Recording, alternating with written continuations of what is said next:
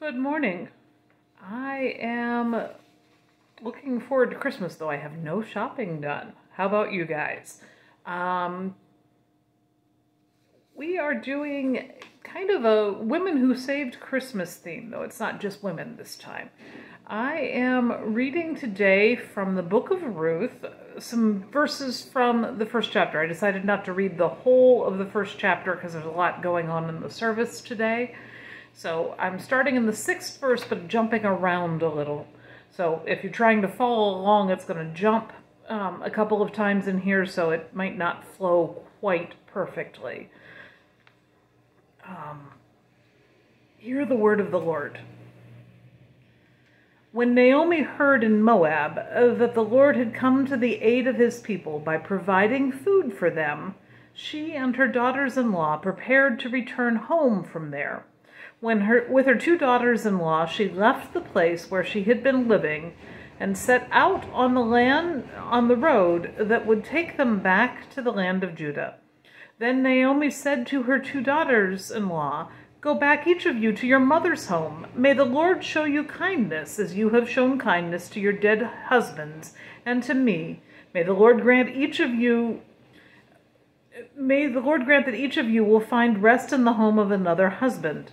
Then she kissed them goodbye, and they wept aloud, and said to her, We will go back with you to your people. But Naomi said, Return home, my daughters. Why would you come with me? Am I going to have more sons who could become your husbands? Return home, my daughters. I am too old to have another husband. Even if I were to have, were if there were still hope for me, even if I had a husband tonight and then gave birth to sons, would you wait until they grew up? Would you remain unmarried for them? No, my daughters, it is more bitter for you, me than for you, because the Lord's hand has turned against me. At this they wept aloud again. Then Orpah kissed her mother-in-law goodbye, but Ruth clung to her. Look, said Naomi, your sister-in-law is going back to her people and her gods. Go back with her. But Naomi replied, Don't urge me to leave you or turn back from you. Where you go, I will go, and where you stay, I will stay. Your people will be my people, and your God my God. Where you die, I will die, and where there I will be buried. May the Lord deal with me, may it be ever so severely, if even death separates you from me. When Naomi realized that Ruth was determined to go with her, she stopped urging her. So Naomi returned from Moab, accompanied by Ruth the Moabite, her daughter-in-law, arriving in Bethlehem as the barley wheat uh, harvest was beginning. May God bless the reading and the hearing of this God's holy word. Amen. Sometimes I describe Ruth as the woman who saved Christmas, but that might seem a little strange. She lived 1200 years before Jesus, and she was of the wrong race. She was living in the wrong land, and she was a widow. How could she possibly save Christmas? The tale of Ruth and Naomi begins in a tragedy. Naomi and her family departed the land of Israel for foreign parts because of a famine. While they were there, her boys married two local girls, Ruth and Orpah. Then tragedy strikes again. All three of their menfolk die. Naomi, Ruth, and Orpah are left widowed and childless. They have no hope, no future, no place in a society that depended on men to provide for their womenfolk. The famine has ended, but not for Naomi and the two girls. Um, Naomi still has some kin back home in Bethlehem, which is literally the house of bread, and she decides to return. Both of her daughters-in-law decide to go with her, but she warns them that she's merely going home to die. She urges them to return to their own people, and Orpah reluctantly goes back. Ruth, on the other hand, makes one of the deepest and most profound statements of human love in the Bible. It's not a story about sexual love, like the Song of Solomon. Rather, it's a pledge of something far more profound In the Good News Bible, which is not the one I read this morning, it reads this way Don't ask me to leave you. Let me go with you. Wherever you go, I will go. Wherever you live, I will live. Your people will be my people, and your God will be my God. Wherever you die, I will die, and that is the place I will be buried. May the Lord's worst punishment come upon me if I let anything but left, death separate you from me. Many couples often choose to have those words read at their wedding, usually in the King James, and I'm going to read that one too. Entreat me not to leave thee or return from following after thee, for whither thou goest, and those are the words we're used to hearing, I will go. For where thou lodgest, I will lodge, thy people shall be my people, and thy God my God. Where thou diest, I will die, and there will I be buried. The Lord do so to me, and more so, if aught but death part thee from me. The words in the Good News and the New International Version are certainly a more accurate rendering of the meaning of the Hebrew. However, they lack something of the flavor the language is too casual for what Ruth is doing here. This is not just some girl making an offhand promise. This is not a teenager or even a young woman making a promise. Instead, it is a thought out decision. Ruth is making an oath. It's a solemn promise, a pledge, as binding as any we might swear today in front of a judge or at the wedding altar. It's more binding than most of the ones we swear. You can't go to a judge back then and get this one erased. You can't go to court and get a divorce from something like this. It follows an ancient formula we call a covenant. Whatever their relative power, Ruth is placing herself in a subordinate position to Naomi. She is appealing to Naomi for permission to stay. Then she becomes bold. She is making a promise that nearly half of all American marriages fail to live up to. She is promising a permanent and utter faithfulness. She is promising to bind herself, to follow, to stay with Naomi forever. And she makes that pledge on the condition that God will utterly destroy her it actually says die die, um, which is their way of making it a superlative. They don't have ERs or ESTs they add into the end of words. They repeat the word a number of times to make it mean more or most.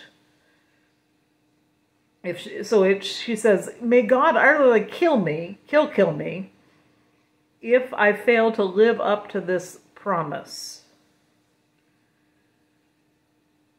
It is a promise which the rest of the book will show she delivers on. Will at the end of the book, Ruth will be described as better than a dozen sons to Naomi. Ruth will be praised by the man she marries as faithful to Naomi beyond any doubt beyond even that of any ordinary Jewish woman. Terry Tempest Williams says of this the, Ru- the book of Ruth honors the loyal bonds between women, to care for one another, and it reaps the harvest of love. Ruth's empathy and toil gives birth to authentic power as a result. It is the bond of empathy and hard work that endures in this story. Ruth becomes the embodiment of ideals that are usually seen as feminine virtues.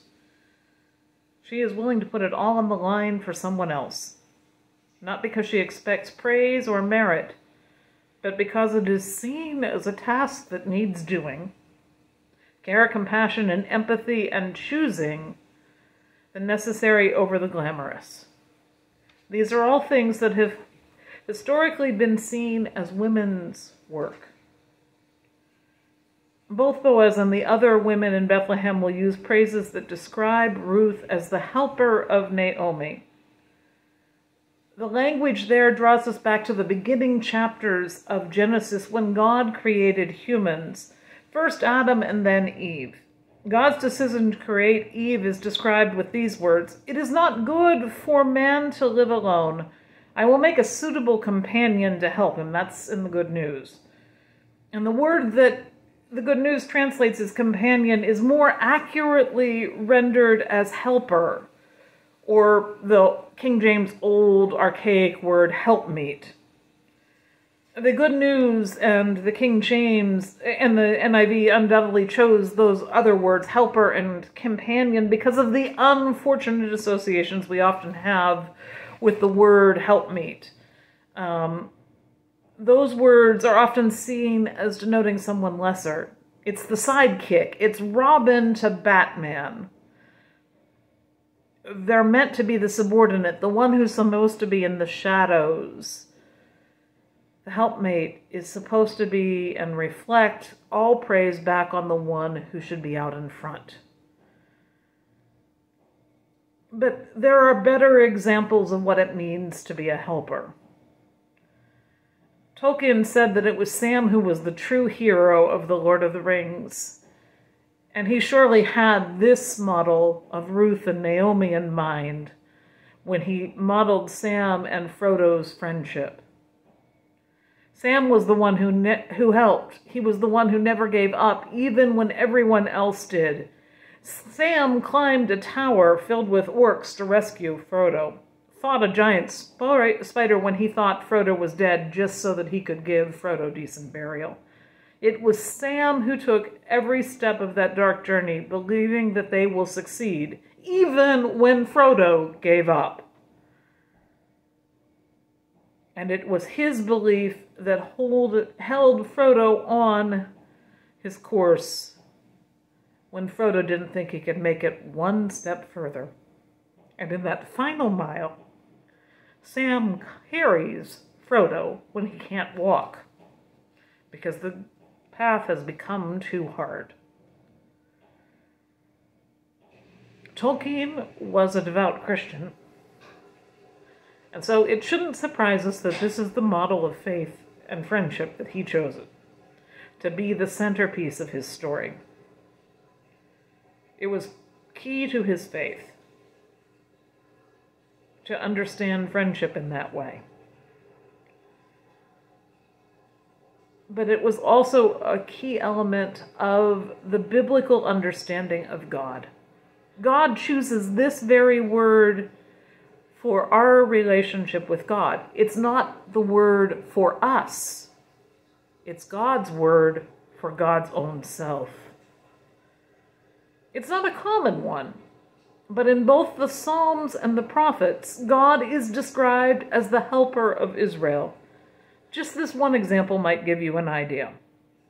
The psalmist is in trouble and says this Proud people are coming to attack me Cruel people are coming to kill me, those who do not care about God.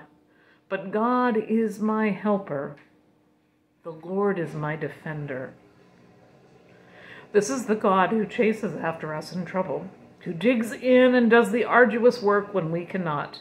This is the God who promises to help when we think we have been abandoned, and who, like Sam, will stand against all comers to defend us. When we are grouchy as Naomi was, this God will plead with us to come along on the journey.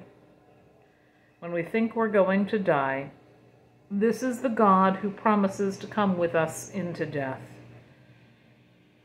Perhaps, like Naomi, you're feeling afraid or concerned that things are changing just too rapidly. Perhaps hearing about the church's finances or the fact that you're getting the sermon by recording. Perhaps whatever it is in your life right now has you upset. Consider that God has promised to come alongside you to be the exact kind of helper you need, like Ruth was to Naomi. If you still wonder how Ruth says Christmas, consider her bloodline as well. She was the mother of Obed, the father of Jesse, the father of David, and hence of David's descendant, Jesus. More than, even more, she embodies the virtues of this God who was born in a manger 1200 years later. She is persistent, full of empathy, and willing to companion someone she loves, even when everyone else abandoned you, her. So when you come to the manger, hear the King of the universe, born as a tiny baby, say to you, as Ruth spoke to Naomi, beg me not to leave you, or return from following after you. For wherever you go, I will go, and where you live, I will live. Your people shall be my people, for I am your God. Amen.